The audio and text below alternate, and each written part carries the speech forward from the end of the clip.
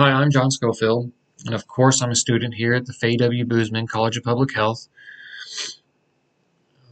Right now, I am taking, I'm trying to complete the certificate in environmental and occupational health, which I finished that up this semester, and I plan on applying for the MPH track, and hopefully, I'll complete that in the near future. Um, so a little bit about myself. I spent the first part of my adulthood in the active army as a medic. I got out and went right back into school. I got my bachelor's in environmental health and biology at the University of Arkansas Little Rock.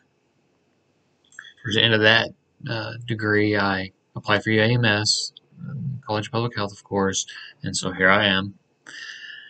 Um, while I've been going to school, I've worked various jobs. Uh, funnest job I think I worked was as a biology technician over at Euler, where we would set up traps across Little Rock and um, collect mosquitoes.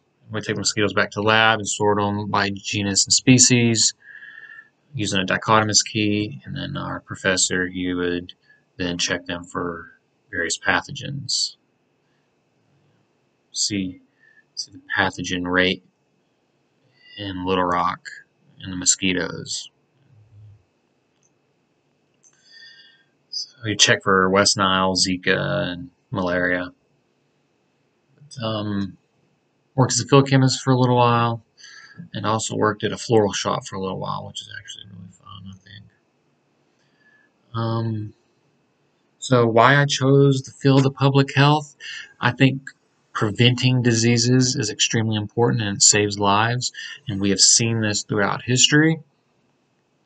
Various civilizations and their cities would just be plagued with various illnesses such as cholera, uh, malaria.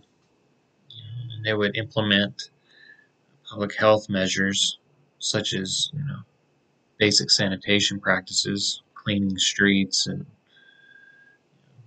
getting trash garbage off the streets or getting rid of still water areas inside and around cities to keep mosquito breeding habitats down, prevent malaria, things like that.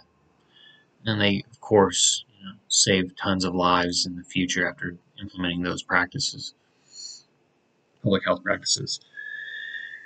Um, I also think preventing diseases will help save people money will help uh, save taxpayer dollars, you know, keep people from having to actually go get treated, you know, where they would have to spend a whole bunch of money in the medical system, the health system, healthcare system.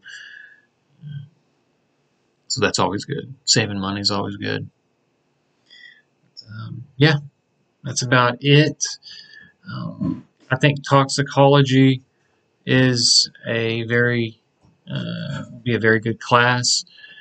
And I can't wait to learn something new, something interesting.